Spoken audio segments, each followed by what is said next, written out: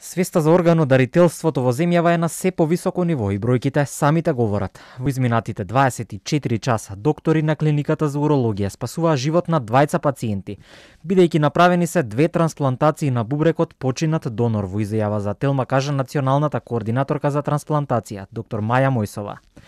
Им се заблагодари на семејството заради најхуманиот можен гест што го направиле во тешки моменти. Уште еднаш би се заблагодарила на семејството што така без, без, без размислување, едноставно сакаше да ги дарува органите на својата блиска мајка и сопруга, за да спаси колку што можат повеќе животи.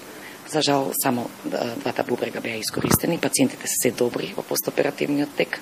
Тука се екипите на урологија конечно стигна после нели целодневна работа. Доктор Мојсова се наврати на минатогодишното врвно достигнување на македонското здравство и првата трансплантација на срце во земјава. Вели семејствата веќе знаат што значи да се донира орган и каква тежина има одлуката што ја донесуваат. Сега се наоѓаме во ситуација кога разговараме со семејствата веќе знаат за што се работи. Тие знаат дека се работи за мозочна смрт која што е докажана по принципи клинички, легислативни и, и професионални. Така да во суштина мислам дека направивме добар импакт кај граѓаните за да ја разберат темата. Тешко беше да се разбере. А со трансплантација пак на матични клетки спасени се животи на пациенти кои само ако биле испратени во странство ќе можеле така да бидат третирани. Овој нов метод на лекување во земјава се изведува неколку години, вели директорката на клиниката за хематологија, доктор Ирина Пановска Ставридис. И ние успеавме да ги воведеме сите услуги од спектарот на трансплантација на матични хематопоетски клетки да станат достапни за македонските осигуреници.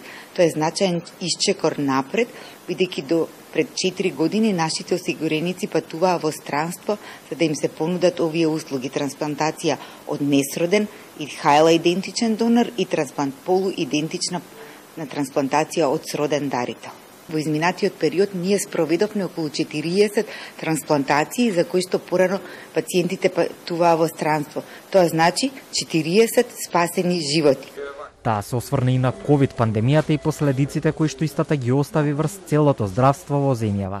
Кога почна пандемијата и кога се затворивне, луѓето престанаа да ги приметуваат другите симптоми и другите заболувања, почна во свеста ни се вреша дека постои само една болест која што е значајна за да се обратиме за медицинска грижа и нега, тоа беше COVID-19.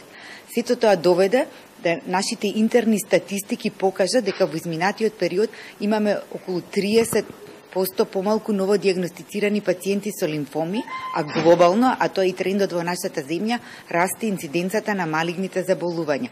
Предвидувањата се дека токму поради ова во иднина следи пандемија на малигни болести, а предупредувачките апели од докторите се се погласни, да не се игнорираат сите други симптоми кои што не се поврзани со COVID.